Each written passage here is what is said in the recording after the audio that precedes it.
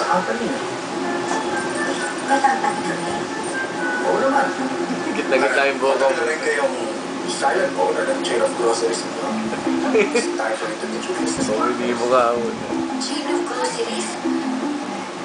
Ibig sabihin marami kami grocery.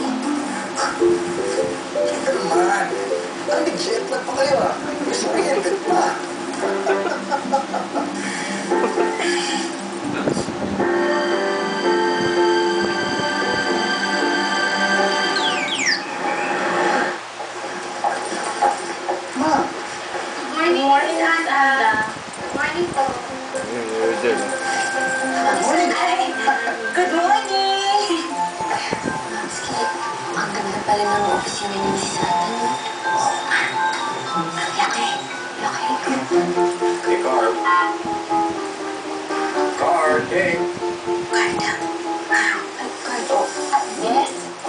this your first time to visit your property?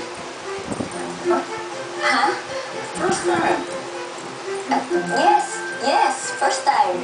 So, are you ready to take over your company? Ito?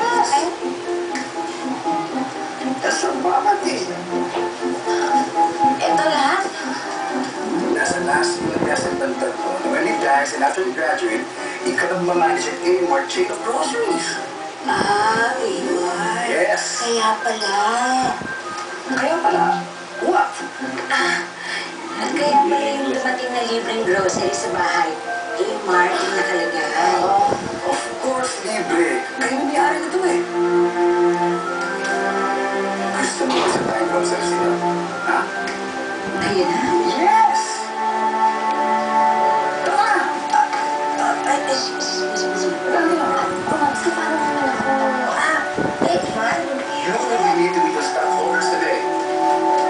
Secretary, pero pa sa kanya, ha?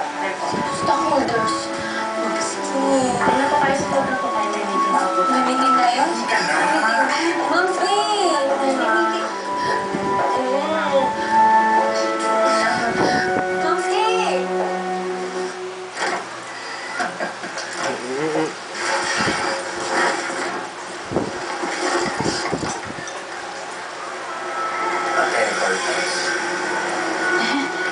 Si Penny? Kasi, ang lalim ng iniisip mo. Ah, kasi Pedro, eh. naalala ko lang si... Ay, si Carl. Kasi baka manibago yun dun sa opisina. Eh, hindi ba? Business person na kinuha niya ng college. I'm sure she's prepared for it. Oo nga. You don't have to Oo. Masiti. Masyado intense. Dapat relax. Sige, sige. I'll bring someone else.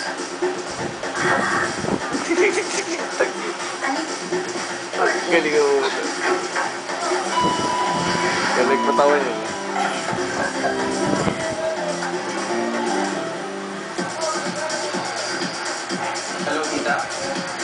Yes po, andito na po sa Manila.